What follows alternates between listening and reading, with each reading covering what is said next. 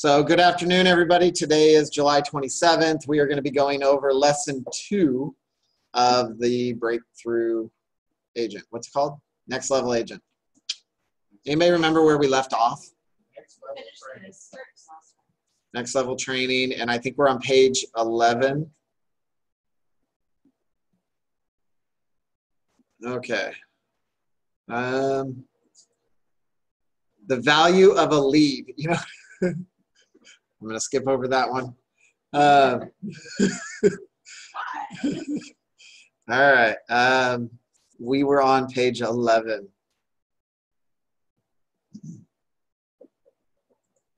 Okay, actually, you know what? I don't know if we really went into page 10. So why don't we start at prospecting activities? I know we went over when we finished last time, we talked about a, a active and passive ways to market and prospect. Um, give me a couple examples of active ways to prospect. Anybody?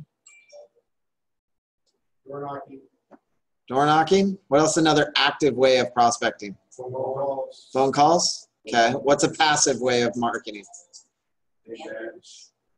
Mailers?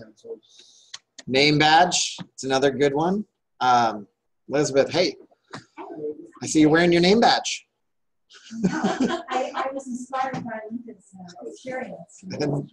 So now both of these young ladies got leads because they had their name badge on. I'm telling you, and I'm not a, a good example right now. So, uh, right? So that's awesome. Those are wins.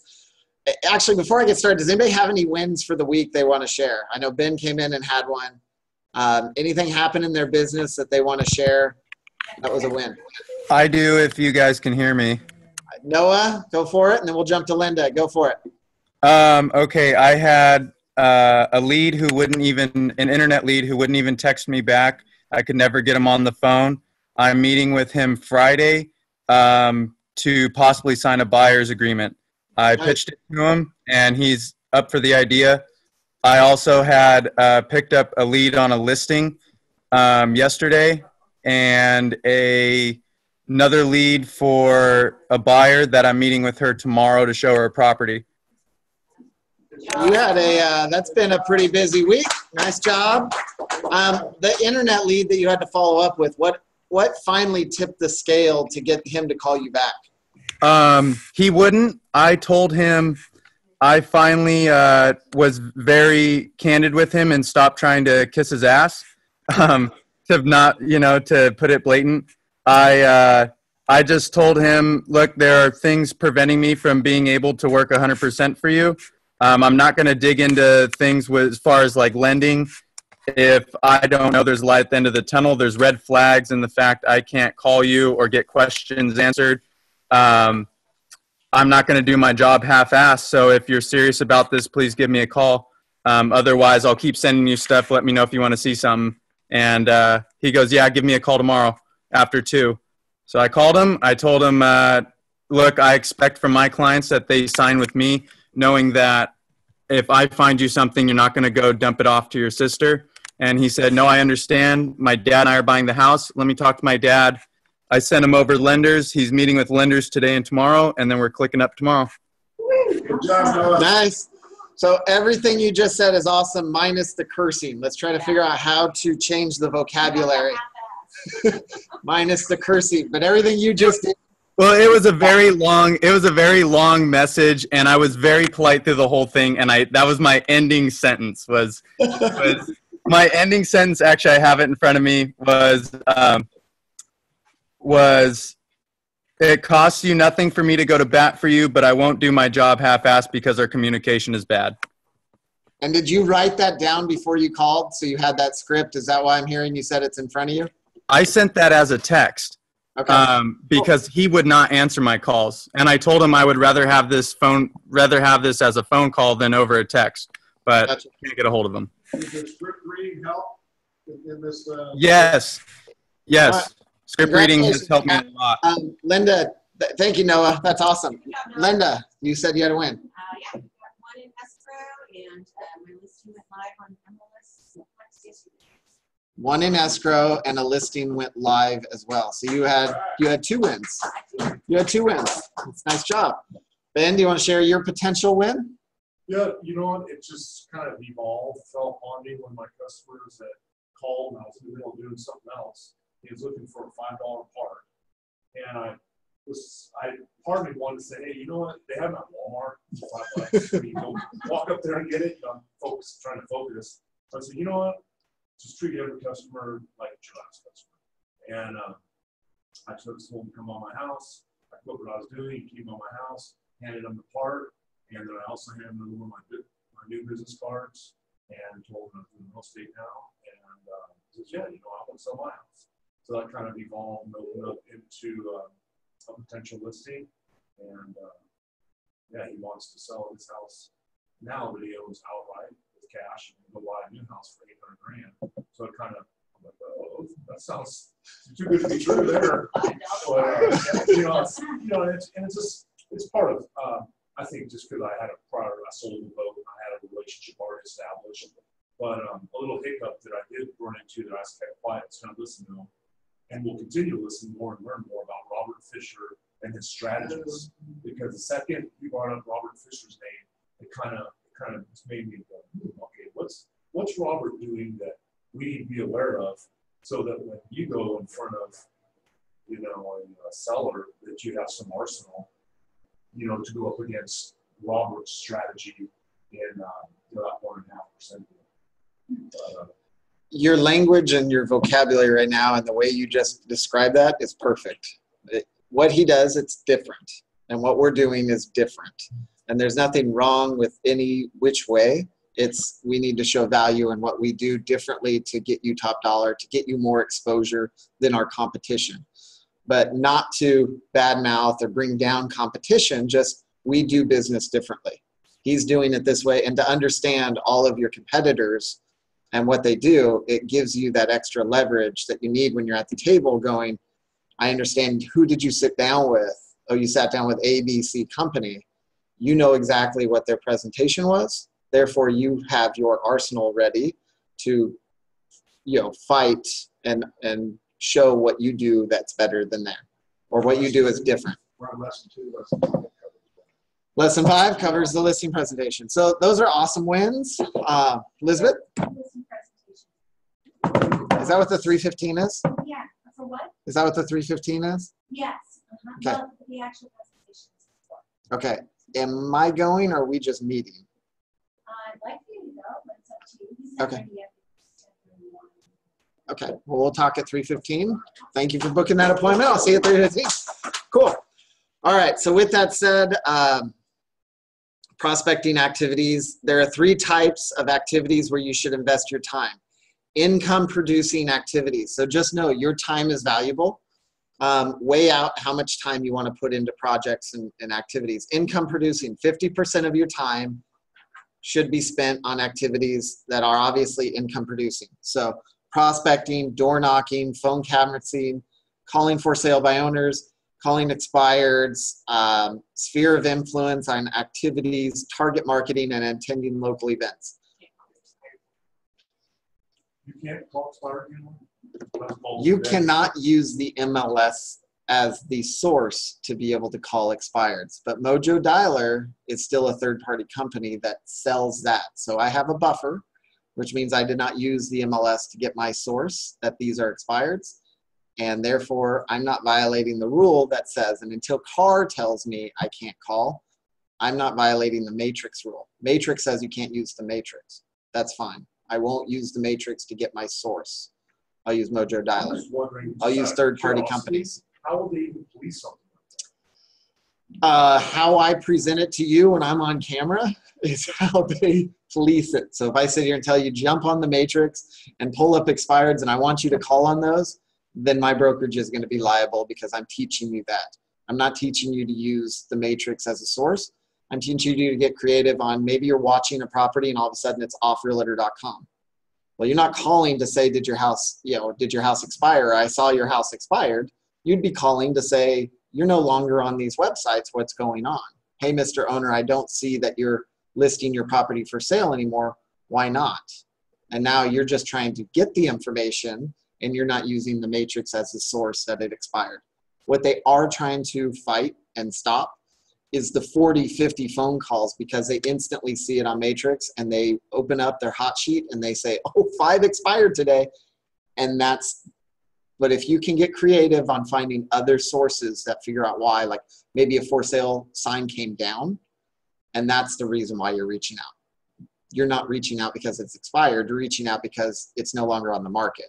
And you're trying to figure out are they still open to selling their house? What happened and why it didn't it sell? totally different and i can stand behind that and i will stand behind that and i will go to arbitration with the board and fight that all tooth and nail until they come with a crystal clear guideline of what i can and can't do um, My, excuse me, my were always for sale only on my part, and typically the seller's one could come in and represent the buyer. So mine never get multiple. As soon as that went uh, pending or whatever, I can't remember what Zillow or Troy and Todd's, but then progressive agents, I would get off. So that's what they were picking them up for, not MLS. Sure. oh yes i'm sorry i'm sorry Hey, rick rick please come up actually can i get rick to come up uh, There you go. You gotta stand here. All right, everybody, this is Rick. Rick is, Well, so that's what I look like, okay. that's what you look like. Rick is new to the company. He is actually an employee with the company, and he is going to maintain and manage our recruiting efforts, our growth efforts. Um, we haven't really came up with a good title. It's like over the top. Um, but it'll be a very impressive title when we come Impressive. up It's gonna with be that. We'll put awesome. that on the, uh, Yeah, So actually, Rick, why don't you I'm doing all introduce that. yourself and uh, Yeah. take a few minutes. Yeah, my name is Rick Ledbetter, and I reside in Orcutt. And I used to do what you guys are doing years ago. And then I did some mortgage lending, and I've been out of that. Um, I was semi-retired. as I was telling Bob, broker Bob, uh, that semi-retirement didn't work too well. So I need to get back into something. And um, uh, real estate offices I always really liked. A lot of a lot of dynamic energy, what have you. Uh, and then after meeting David, uh, I thought this might be an interesting position because I don't have an interest to get my license back. That's expired years ago, but something ancillary, and I think this could be really exciting with his his ideas and um, uh, energy. So, uh, are you are you who's new in here as far as agents? Okay, so, so yeah, yeah. Well, when I started off, we didn't get a whole lot of help, um, and it's nice to have someone you can go to. Uh, so I'm pretty impressed with that. So anyway, so I'm working right now, uh, ten to three during the days, so. Two to three, you're gonna see him around and I think it's only one day a week, but uh, hey, I'm gonna be exhausted after that. this is one day a week. Oh, this is one. Nice, way to keep the head in the game. What'd you do with your contacts? Do you want to sell it? okay, so Rick, we are very excited to have you. Um, we're going to be working together and just figure out where this goes and where we can take it. Um, uh, initially, I'd also like to introduce Celine. Celine is our virtual receptionist, virtual assistant on the back end. She started yesterday. Um, and what she's doing is maintaining our database and actually start doing customer service calls. And then she'll actually start farming territories to see if I can generate leads that get distributed out to you guys as well. So she started yesterday. Um, and then we are interviewing for one other position, um, possibly for the, about next month is what we're looking for. So anyway, that's a side note. Let's stick to the game plan here. Um, things that are profitable to do. So prospecting, door knocking, phone calls. I mean, this is a contact sport. You have to make contact. Um, 20, 25% of your time should be spent on activities that are like preparing for your daily goals, writing down ads, promoting open houses, sending thank you cards, developing direct mail flyers. Actually, Dad, there's a direct mailer flyer or a flyer right there. Can you grab that?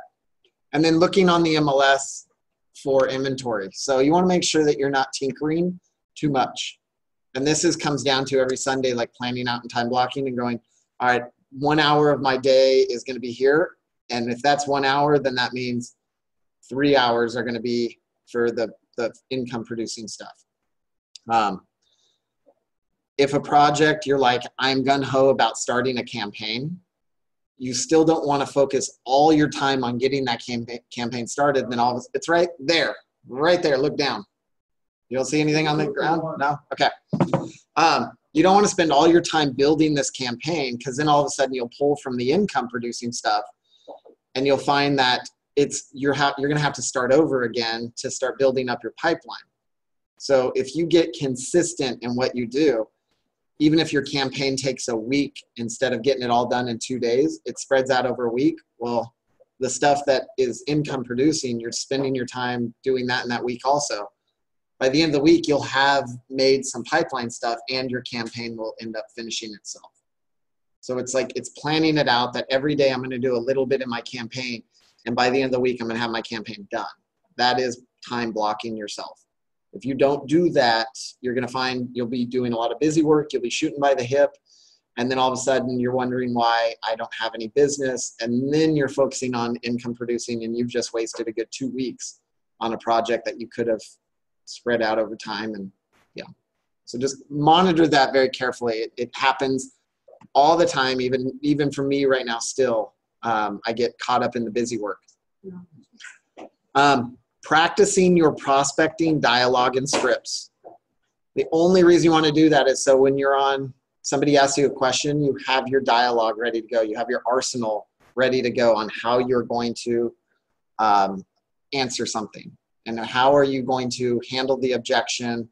Um, if you need help with that, 8.30 in the morning, we have script reading every morning at 8.30. So if you're able to get on that, uh, every day it's a different category. You can get on the back of the website and find out what that category is. Today was uh, door knocking.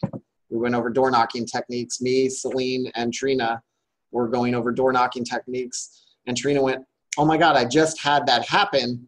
Let me write down what a good way to say that is. And she, she was able to pull from that.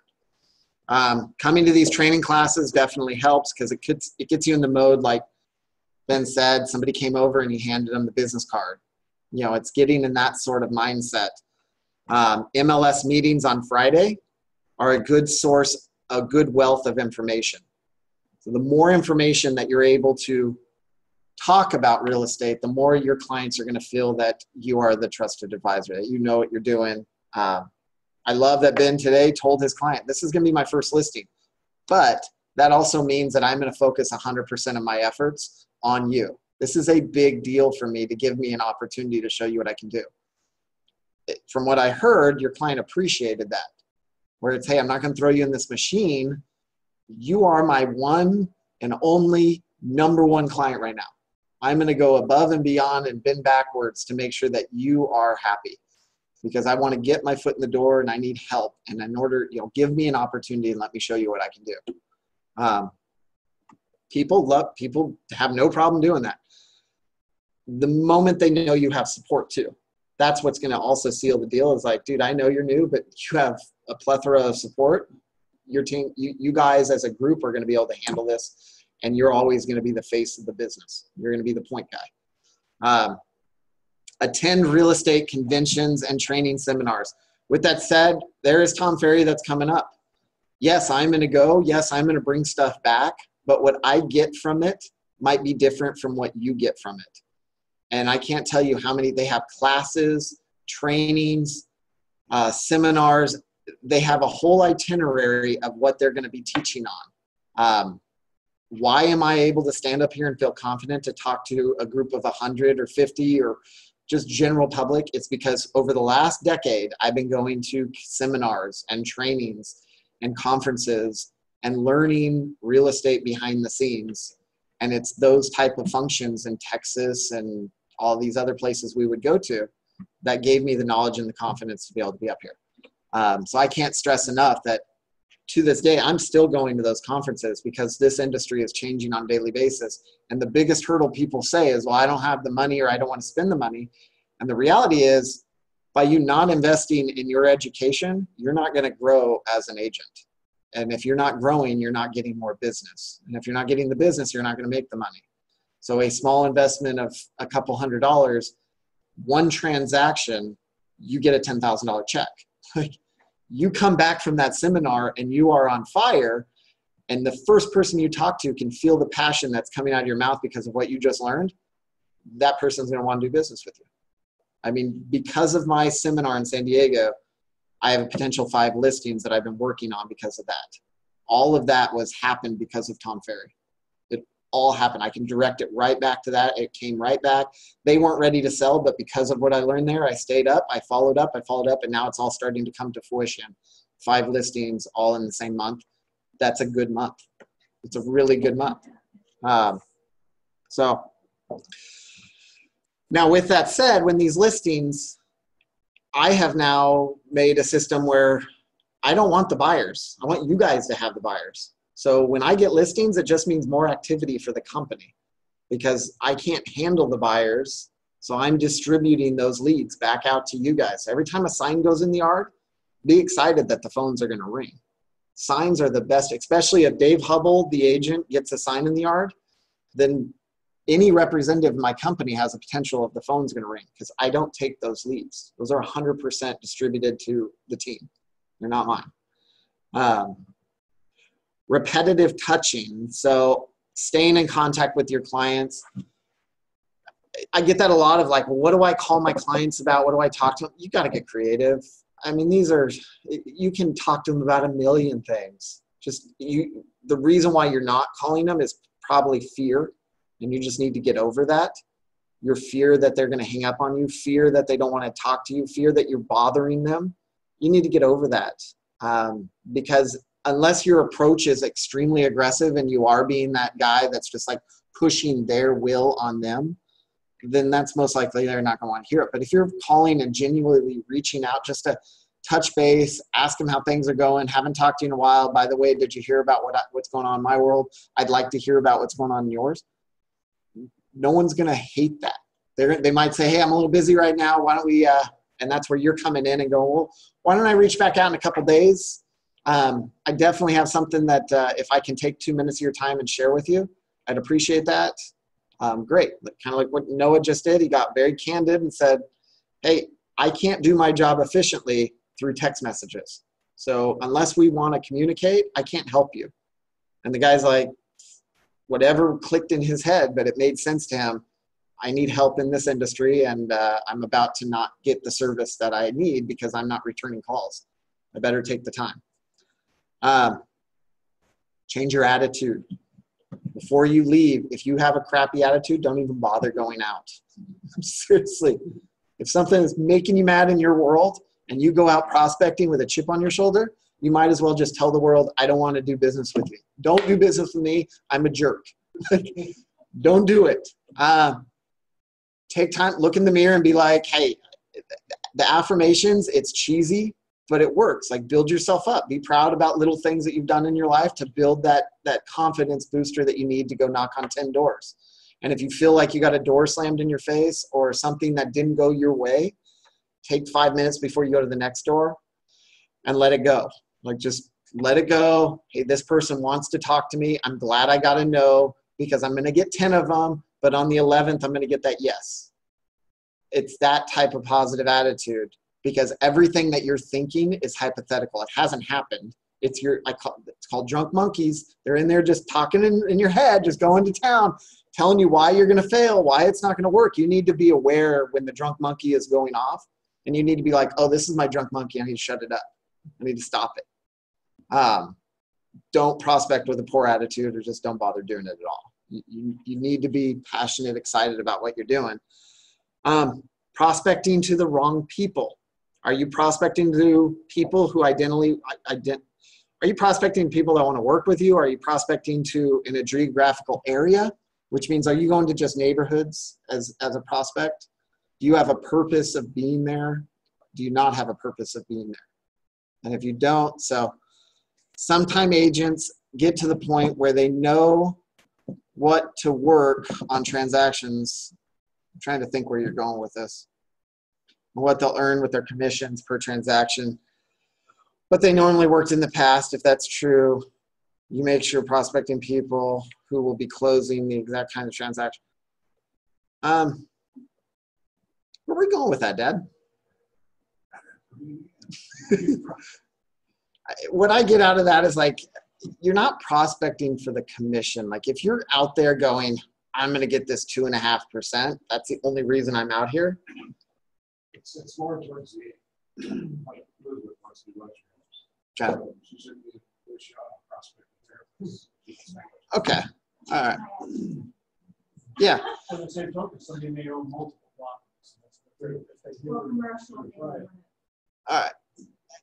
You got to be able to recognize opportunity for what it is. Uh, I hate to pick on Linda, but we had um, our our fun little lead issue today that just we have a difference of opinion on what is considered lead and not. And I look at opportunity as opportunity. I look at opportunity as is my time worth doing this? And if it is, how much time am I going to invest to make this happen?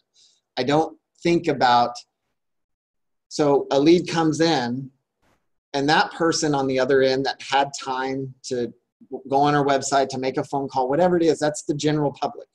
That person has a need right now. If they're reaching out to me, they have a need, they need services.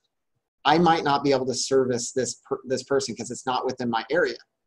Just because it's not within my area, I look at that still as an opportunity for me to reach out and find the area that they're searching in and attach those two people together. But it's only worth 10 minutes of my time. That's the most that I will invest in that. So, how can I streamline that and play the numbers and just get that done quickly, efficiently, and move on and not waste time trying to figure out if this is going to work or this or do I like this person? And I think that's where me and Linda, if I'm, and correct me if I'm wrong, Lin, Linda, you know, she likes the leads that are, they are real, true. Like this is a quality, quality lead. I feel comfortable giving this out because I put my name behind it, going, this is a quality lead.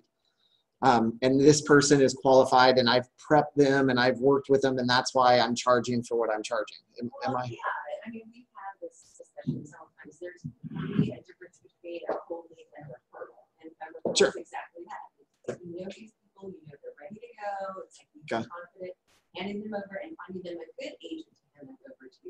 Okay. You vetted, you know, a cold lead, it's like, hey, here's a guy, it's like, that's not the same as referral. and this is i guess this is where the difference of opinion comes in that i make that the responsibility of the agent that i hand the lead over to if if i'm general public and i'm looking online and they have good reviews and good this great you know that buyer can go i don't like that person but again it's only worth 10 minutes of my time because this is a cold lead the lead came in they had a question about a property i don't service that area i'm just going to filter that over and I'm gonna call that agent and say, hey, I have a lead that came into my website. I don't service the area. You do. Do you want it? 25%. Are you good with that?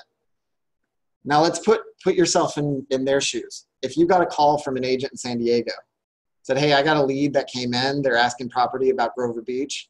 I can't service that area. Are you good with that and pay you 25%? Linda, as a business owner, may say, no, that's a that's crap. I'll do it for 10. I'll do it for five because that's a cold lead that's her negotiating her time and what she's worth. Other agents may go, I don't have any business right now. Yeah, I, would appreciate that. I'll pay 25% all day long because I have no pipeline right now. And the fact that I got this lead is a big deal because I have nothing. So, again, I don't know what's going on in their world. I'm just giving them an opportunity. They can choose whether they want it. If they don't want it, I'll go to the next agent. I'm not misleading or misguiding and saying, I got this hot, hot buyer, they're ready to close and write an offer tomorrow. Just tell them, I got a call from a buyer who has, I can't service. Can you service them? I typically charge 25% for my referrals. If they came back and said, oh, that man, so you really don't know this person? Nope. I'll do it for 10. Okay. That's my 10 minutes. It's worth it. I'll make 500 bucks. Like, cool. Here you go. So, um, know what your time is worth and know to see opportunity when it's there and if if if it's not the right opportunity for you that's fine but being able to recognize there is our income is not always about buying or selling sometimes it's just connecting people and there is opportunity there and that is ultimately a portion of what your business can be and there's a good source of business um, who's the local agent around here that just has a website and all he does is refer leads you know who I'm talking about? It's Bird. It is. Um, there is a gentleman that his business is developed around making websites, capturing leads, vetting his agents locally. So he has a network of agents. They already have a pre-done referral agreement. He has a distribution list. They're not in his brokerage. He's under another brokerage. And lead comes in and he just pushes them out. And the relationship for the referral is already there. And that's all he does. He doesn't sell. He doesn't take clients. He refers leads. Um, and he makes an income. He makes a living doing that because of his marketing online draws people into his business. So if our marketing online has a great exposure and I get leads from Chico or Redding, is that my fault that I am just capturing data because I have a license in California? So we are not just staying in our bubble. We are not just five cities. We are connecting people across California. Your bubble has gotten a lot bigger.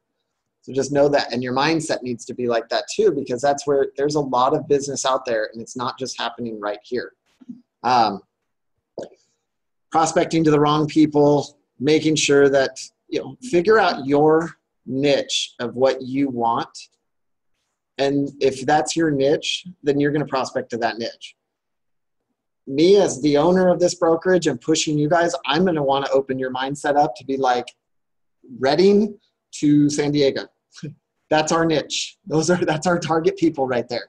Um, we have a California license. I say we use it. Matrix launched. We have access at our fingertips now. You can get as much data as you need to be able to connect people in different cities. There is a big opportunity. There's a big business there. You get a paid referral. I do not recommend that you go to a territory that you don't know and say I am a specialist in this territory, and you try to sell in Chico and say I know this this local area. No, that would be a disservice to the client. But you can definitely say if the client reaches out to you and trusts you that's worth your time to say my client is moving to chico. I better take my time and go through. And this is again recognizing opportunity for what it is. This client 100% wants to get your recommendation or do you just need to connect people together because it came in as an internet lead? So there is a difference there. If i had a client that called me and said i'm moving to medford oregon which is happening i'm going to take my time i'm going to find that agent i'm going to reach out to that agent i'm going to interview the agent and I'm going to give her three choices of agents that I want her to go interview as well, because that's a client asking for this. This person's just saying, I, I want to get into a property. Well, I'm going to tie them with an agent and let that agent do their job on selling themselves. Um, but I'll make sure I explain that to the agent that this is not a preferred client of mine. This is someone that just wants information about a property. Are you good with taking this? I charge 25% for the lead it's almost like a relocations company. They took 40% out of one of our agents' checks, a relocations company. No different. Person's moving to your area, wants information about your uh, your relocate, you know, your territory. Do you want this lead? It's 40%. It's like uh, no. and that's a big hit. You know, it was like nine thousand dollars for that lead. That's a big hit. Yeah. Actually, I'm probably making one of this year, stripping on the products. Because one I had, I was still selling homes. It's like $300. Mhm. I negotiated with them. Um, I also have another thirty percent, that's not, I already have another thirty percent.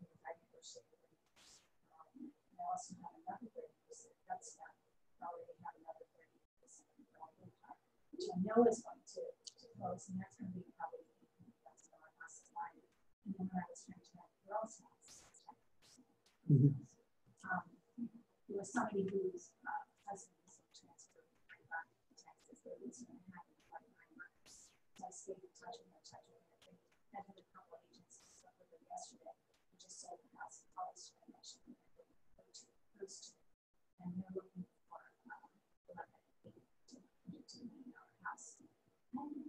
That's a nine thousand dollar referral.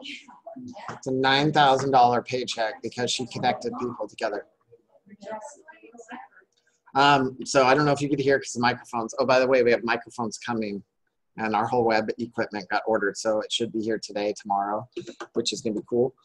Um, what she's saying, she connected people together, and now she's getting. I yes. So, and just because they're leaving out of state does not mean that you cannot collect a referral out of state. It means you can't do business over there, but they can send you compensation. So, hey, I got a client moving to Texas. Great. Let me call a Texas agent I will vet them for you, and I'll give you three recommendations. Um, it doesn't cost you anything. If you like my recommendations, let me know that you've cho- chosen that agent so I can, um, you know, basically And watch it. She gets thirty percent of the co-op. Yep. So if it's two and a half percent, It's- it's this. taken care of eventually, 25. So those are called referral fees. They're referral agreements. They're in zip forms. It is a portion of this business that sometimes you miss opportunity because you don't think outside the box. That this is a potential opportunity where I can connect people and make 25%, 30%, 15%. It is all negotiable. Standard in our, would you say California or just in our community? Um, I think standard customer, if I did referral for my brother in Texas, it was twenty-five. So 25% is a very standard referral fee. Um, what's that? Twenty percent used to be the norm. Okay, so twenty percent, twenty-five, thirty is, it is negotiable. If, if I have a client that is ready to write an offer in Texas, I'm gonna push for 30, 35. Here is a business, here is ten thousand dollars, you're gonna pay me three grand. Like, I'm giving you ten grand right now. You don't even have to work, you have to write and facilitate the transaction. You're gonna pay a higher premium for that. So again, knowing what it's worth is a big deal. Um, and agents on that end, would you pay 20 bucks to make a hundred? If somebody said, I'm gonna, you're gonna give me 20 bucks, I'm gonna give you a hundred dollars, would you argue that? No. So, hey, here's 10 grand, but you're gonna pay me three grand. Well, that's not normal. Well, neither is handing over 10 grand. So, you know, um, discounting your prospecting once you generate activity. This is the one biggest, most common mistake and agents make. To the best they can do in real estate career, you need to prospect constantly. So you're out there, you go farming, you spend some money on postcards, you not door knocked, and you got three leads, and you're like, cool, and then you're done. That is not following through with the farm. Once you pick a farm, you need to consistently go to your farm. You need to consistently grow your farm eh, think of a farm. They- They call it a farm because you're planting seeds, then it grows, and then you go and you pick your your your your money. You pick your homes. Well, this guy's ready to sell now, and then next season starts, and now you have a new crop of people that are ready to sell. But you're out there like a farmer, planting your seeds and watering that farm to grow those people, to grow the relationship that when they're ready to sell, when that harvest comes today, they're thinking of you as the farmer. That's farmer. I mean, that acknowledge, acknowledge, analogy, analogy, analogy. I, I mean, I see that in my head when I'm looking at neighborhoods. Oh, this is an untouched farm right now. Oh man, there's a lot of farmers out here. yeah, but look at me, I got a big machine coming through, and you know I do it more efficiently. Like I, I, you got to think like that. Don't delude yourself about this. Um, real quick, does anybody know how to pick a farm? What's a good way to pick a farm? Um, first, um. Okay. Why would you go for Sam? And why is that important? Farming in an area that has more turnover. Whether that's the correct way, but statistically, you can go into it's called My First AM. You can pick a geographical farm, and once you highlight the area that you're looking at, it's going to tell you this percentage of how many homes that you've highlighted versus how many homes have sold. And I think it does it in a year. Is it- Stacy Axon is gonna be, uh, putting in talk at one of our guys' meetings. Yes, she is. So Stacy Axon from First American is going to come, and she will actually show how to geographically pick a farm. Now, if you're picking a farm that has a one to two percent return rate, that means that it's going to take you a lot longer to get a return on your on your time. But what if that return rate is 1.5 million? Then from that farm, how many are really dedicated to working that farm? Who's your competition? Those are things that you really need to know moving forward. If you're about to invest money into farming, you want to know who's the competition. Now, if it has a high return rate, you're going to have a lot of competition, but there's a lot of inventory there. So you can strike gold a little bit sooner than something that doesn't have as, as high of a return rate. but it better mean that what are you doing to be the yellow pants in the room? If you're going into a territory that has seven agents and they're already prospecting and farming, what are you doing differently? Are, is your marketing campaign the same as theirs? Are you giving the same data as they are? Are you going to do it more efficiently? Are you going to do it more frequently? Are you going to do it with a better attitude? All these things come into factor because one slip up when you're in that farm and your attitude sucks, you've just ruined your farm. You've killed your crop. And now this agent comes over with a good attitude and they're they're they're confident about selling your home and they have just now taken over that farm. And it's going to take you a very long time to break back in and change the mindset of your prospect because you had one bad attitude that day. So that's knowing that you're in the game when you're stepping out into that world. Like you're in your game. Um, so my first AM, great tool to be able to pick farms. And then once you pick the farm, you can get a very clear picture of who's who you're up against. What is the percentage that you're typically looking for for a good farm? It's about five to six. You st- you find a five six, that's a good farm. You find low like one two three, just know that your time is going to take a while to break into that category. You know, not many homes come on the market in this territory, so it's going to take some time. So then you're balancing out higher revenue, you know, one sale, $30,000 every six months, or one sale a month at $8,000. You know, these are the things that you're thinking about when you're, when you're picking. Um, so key takeaways from this lesson, the process we've reviewed during this lessons give you powerful to sell almost anything. If it's got a roof, you can sell it. Okay. Or even if it doesn't have. a if it doesn't have a roof, you can sell it. Um, commercial, residential, property management, these are all opportunities that you have at your fingertips at this brokerage. You're not limited over here to do stuff. Spread your wings, get creative. I'm not going to clip your wings. I want you to get out there and do, you're able to go outside of the box over here. That's where you can take on your competition and do things differently. Um, the people in an organization you meet in these criterias are qualified prospects. So uh, before making a sale call, it's important to do your homework. It's important to do your homework with time sensitive.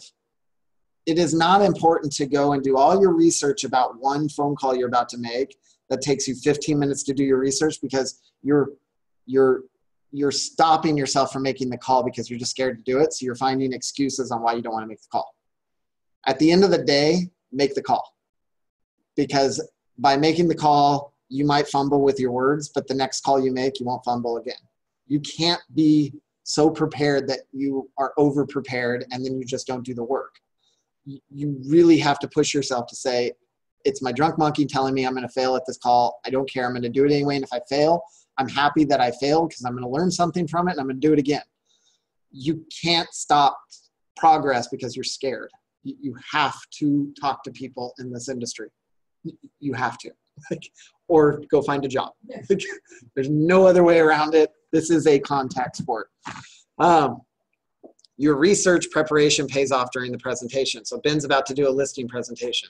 This is preparing for the listing presentation is valuable for his time because he is about to go to the show and he needs to be on his A game to do that. But starting to figure out how long does it take for me to prepare. That preparation take, should take you no more than two and a half to three hours at max.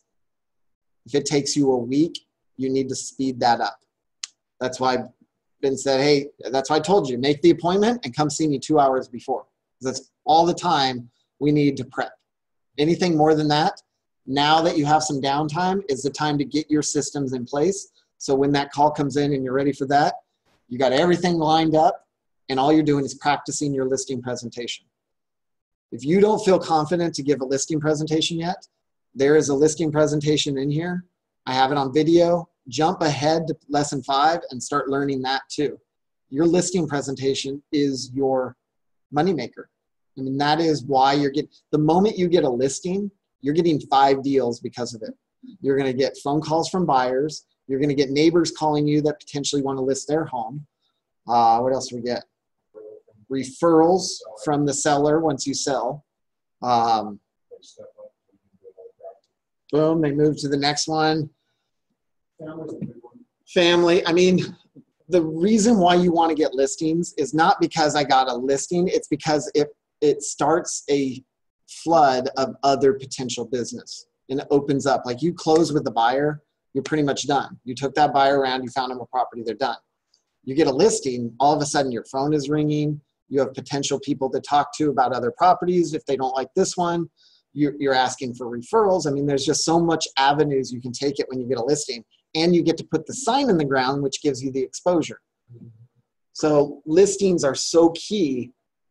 The being a listing agent should be a priority in your business because that is the moment you get a listing, it's like a guaranteed paycheck. If you got a good listing, you can guarantee that I'm going to get a paycheck because of this. Especially in this market right now, it's hot. So list, what is it? List to last. List to lust. I've never heard that. List last. Well, Oh, Okay. yeah. Gotcha. Um, and we don't take listings to sit, we take listings to sell.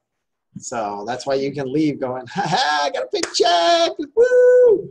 Um, keep your emotions under check because it's not done till it's done. Definitely don't spend the money till it's done. Don't spend it in your head. Don't spend it in your head. Um, Can I tell one quick story? sure. When I started, we had to use a split desk in the office. Me and Alex, were both movies, and we're both, we need that first commission check back, because it's been a while. And we both get in an escrow, and, uh, about ready to close at the same time.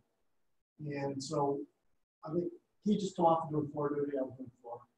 And I'm in the front, he's in the back, and I hear this, in the back, I hear this.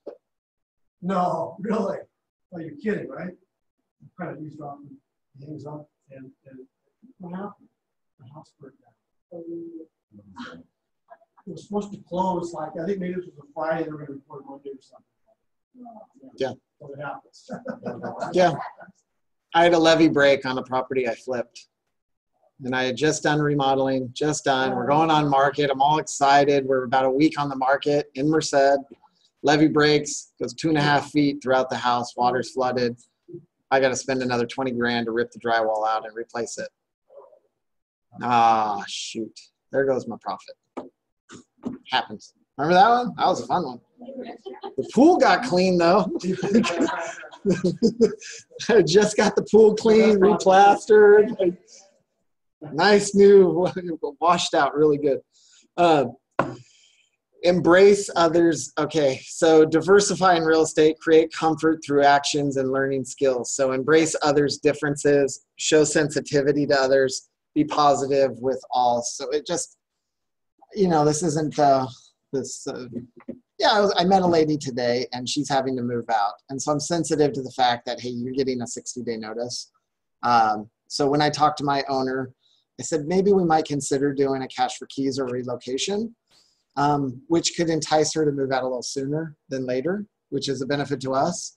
But I can, you can tell that she's going to need some assistance, and I can assure you that when we sell, I'll be able to recoup that 1,500 bucks on the sale portion because this is going to be a hot property, and we already have a line of people.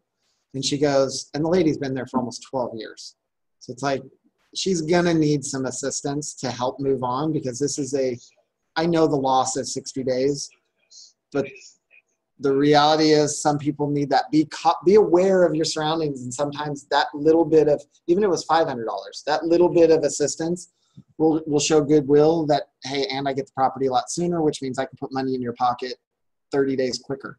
Is there value there? Um, attitudes, communication skills. Um, don't take this business personal and it's very hard to do. Somebody rubs you the wrong way, they disrespect you, feel disrespected, and all of a sudden you're pissed and you're like, screw you, I'm not gonna do business with you, and da da da. da. And this person's a jerk. Like, you need to stop, take yourself out of the situation, take a breath, and just know that there's something going on in their world that has nothing to do with you. Don't let that affect your attitude because you can turn around, run into that person who's going to be your next million dollar client and you're pissed because of what just happened over here because you let it affect you. You let it affect you. Say no. Be like you know what? I'm not going to accept that. Thank you but no thank you. I'm not going to accept that and that's it. And I, you got to put blockers up because you can't get baited. I call it baiting. That's what it is. You get trolled online. You get baited. People talk stuff about you. Let it go. You're going to make people mad in this business. There's no way around it. You're going to have conflict. Half our business is conflict because you got two parties trying to negotiate what's better for this person. And very strong-willed, very strong egoed agents that are very confident in their ability are going to come over the top, and then it's it, it escalates very, very quickly. And really good agents can see that and go, we're, we're not going to get anywhere in this. At this point, we just need to agree to disagree. Let's come back to this and let's go on to another topic that we can agree on. So you have to start learning how to control your emotions because that's why they hired you. Because if your emotions are out of out of whack and you're constantly going to your client telling them how bad this other agent is, it's just going to make your client irrational as well and not an emotional mess too. And then now you both are attacking this agent and they're attacking you and nothing is getting accomplished. Um, see right there. what did I end up getting? Um, I think I did an apology online. Oh, is that what it was? Okay. Talk to my wife. She gets that. She gets. My wife does that stuff. There you go. I think I took it to that level. Forget a bottle of wine. Let's go wine tasting. Um, crossing the lake. So be oh here. Uh, train yourself to respect and understand nonverbal communication when you're sitting with your client. Right there is a very aggressive nonverbal communication. Just boom. You want yeah. but if you're if you're trying to pull if you're trying to pull information from a client and you're sitting back in your chair like this and you're asking some questions, they're going to feel compelled to not respond openly with you. So leaning in, kind of putting some elbow in, really making the eye contact, talking, it means that I'm engaging you right now. Talk to me. Let me hear what you're saying. Um, if I get everybody in the audience and they're starting to do this, it means that what I'm saying is off topic and no one really cares what I'm saying. That's what's going on in my head. Those are my drunk monkeys. So nonverbal communication. there you go. So, you know, you perceiving that. Yeah, there you go. This reading. So, as a good way of communication is saying, hey, am I, you know, asking questions such as, is does this make sense, or do you have any questions? Is this something that is a topic, a good topic for you? Um, because then I got to get my drunk monkey under control and be like, no, it's it's his back cool. Now I can also log that, like he's got some back things, so maybe when we look for other properties, that's something I'll look for a property with stairs. Mm-hmm. Like literally categorizing people for what type of property would be best for him. Long enough to break it, fix it up. Yeah, like maybe a remodel isn't the best because he's he's you know if he's like, hold on, I'm getting out of the car. I have a client that got a cane, and they're just like, we are not going to look at fixers. he might say he wants a fixer, he doesn't want a fixer. Like, let's stay away from that. No stairs. Uh, we had a house that had a uh, electric cart that went up. Dude, that was kind of cool. Uh, making eye contact, face, uh, irregular speech, impatient. Uh, I get that a lot. We are very A-type personality. Go, go, go, go, go. And you get a client that's very just mellow. You need to mirror your client. They are not going to mirror you. You need to mirror them, which means slow down, listen. Maybe we have to take one step at a time. Even my voice will start to slow. Everything in here will start to slow if that's the type. And as I take control of the conversation, they're engaging with me, I can slowly start picking up my tempo as they're following along. So you're watching the body language to see if you have that, it means that you are in control of the conversation. And if you're in control of the conversation, you can take the conversation any direction you want. And ultimately, we're taking it to let's set an appointment. Are we ready to list this property? Do you have any questions? Great. Yeah, let's go. Let's do this. Um, all right, I'm probably going to lose you guys or lose this. If my computer dies, sorry, we're getting another computer by next training and we're just going to go. Uh, fair housing let's make sure we stay within the law. Fair Housing Act is a federally act in the United States intending to protect buyers or renters of dwellings from sellers or landlords and discrimination. you can't go into Santa Maria and be like, oh, Santa Maria has a high population of Hispanic people, so let's put all Hispanic people over in Santa Maria. Totally a violation. Okay, you cannot do that. So you cannot even mention that with the seller. Hey, we're gonna we're gonna just market to the Hispanic population. No, we're not. We're gonna market to general public. That's what fair housing is. You cannot discriminate. Uh, you cannot discriminate on age unless the association is the one that's en- enforcing that. You have to follow the rules, but you can't discriminate age, sex, religion, uh, Gender. I mean, it's just you, you got it right here: race, color, religion, sex, handicap, national orientation. Um, so make sure it's considered redlining, steering, and blockbusting. That is basically like identifying a certain neighborhood and only putting certain people in that neighborhood. Um, you, that client can ultimately be, or even a neighbor can complain on you, and, and that's a clear violation. So be careful about that. It's just a client is a client.